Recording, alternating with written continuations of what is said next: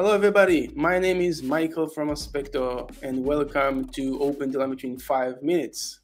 Today, we're going to focus about the Open Telemetry collector and why you should care about it and everything that you need to know to get started with it. So the Open Telemetry collector is a must-have component in any Open Telemetry de deployment.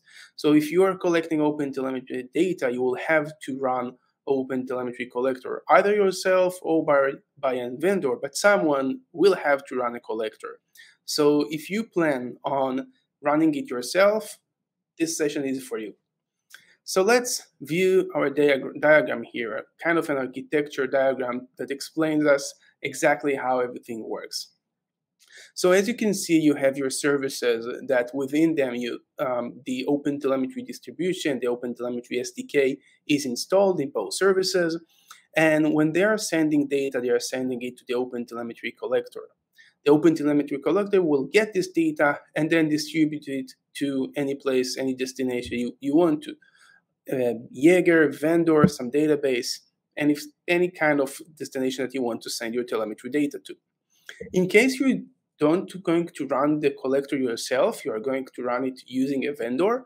So in that case, it would probably look something like that. You're still going to have an Open Telemetry SDK, either um, a native one or the vendor's one, and it will send it to their collector. But today we're focusing on the situation where you are managing and you're running the collector yourself. So what is the responsibilities of the collector? So there are three main things the collector is doing. Number one is responsible on getting the data, receiving the data in the right protocol, in the right format. The second responsibility would be to export it to the right destination in the right format.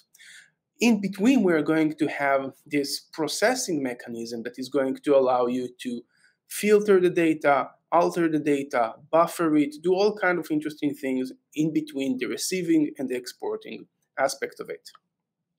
So this is the concept of it, but let's dive into the actual configuration of the collector to have better understanding how you can configure it as you want it to run. So let's take a look at um, our collector. And in here, you can see that we have the main definition of the collector. Here we're defining the different pipelines that we're going to do. Open telemetry collector is a data pipeline component. It receives data, change it, and then distribute it. So we're talking about pipelines, and we have a specific pipeline for traces, metrics, and you could have logs as well, because those are the three um, data types that OpenTelemetry can ingest. So when we receive traces, we are going to receive them in the in OTLP. OTLP stands for Open Telemetry Protocol. So we're receiving it in the Open Telemetry Protocol. Then we're doing a batch processing usually done to buffer the data and improve performance. Then we're going to log everything that is um, error message and above. And lastly, we will send it to Jaeger. Same goes for metrics. So here we're going to handle only metric, only traces, and here we're going to handle only metrics.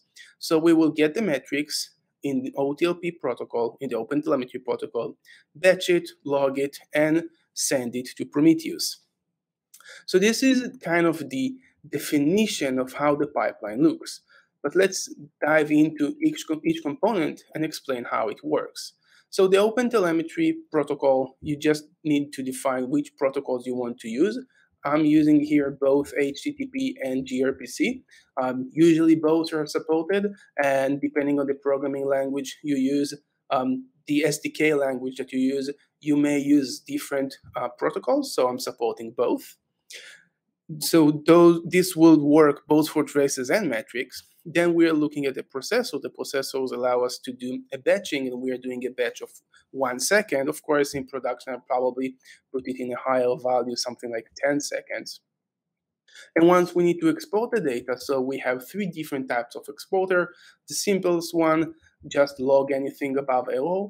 Um, export to Jaeger, so just export it to the endpoint that um, that Jaeger is there.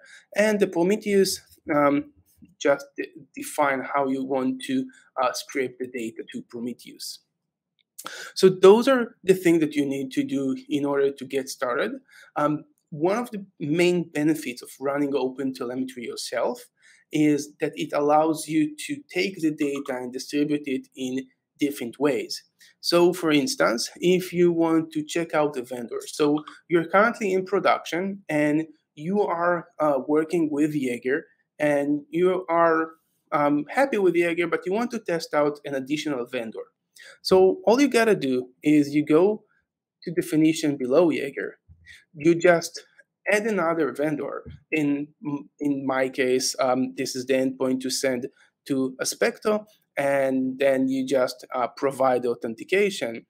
You take this exporter, the OpenTelemetry HTTP exporter, and just add it after Jaeger.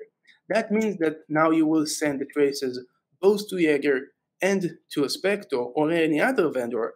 Then you can evaluate the vendor, take a decision, and a week after, a month after, decide I'm working only with Jaeger or only with the vendor.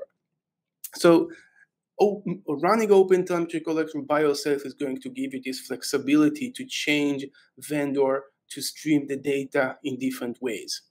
To spin all of this up, um, you can just use a Docker Compose or any other uh, orchestration for Docker.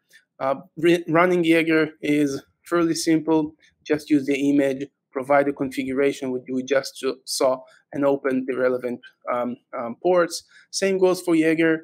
Um, use the uh, Jaeger image and configure the ports, and you wouldn't be surprised, but Prometheus is kind of the same. So you don't have much to do in order to get started with it.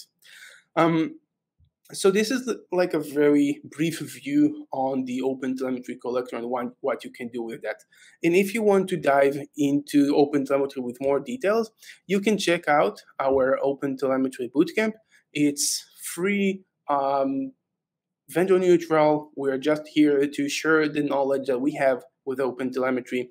So you can check out the bootcamp. This is a series that is going to take you from um, the basics of Open Telemetry to know everything that you need to know.